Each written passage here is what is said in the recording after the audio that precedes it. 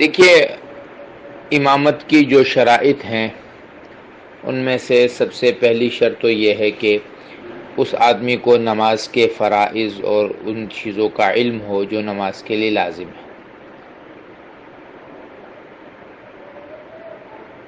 اور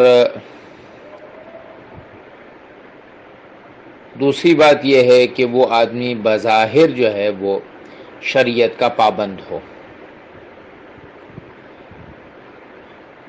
اب گناہ دو طرح کے ہیں، ایک ظاہری گناہ، ایک مخفی گناہ۔ ایک آدمی ہے وہ گنہ گار ہے، لیکن وہ گناہوں کو چھپا کے کرتا ہے۔ ایک آدمی ہے جو ظاہر میں گناہ کرتا ہے۔ تو جو مخفی گناہ کرتا ہے، اس کا معاملہ وہ جانے، اس کا اللہ جانے۔ جو ظاہر میں گناہ کرتا ہے، اس آدمی کو با اختیار یعنی اگر مجھے اختیار ہے تو میں ایسے آدمی کو امام نہ بناؤں۔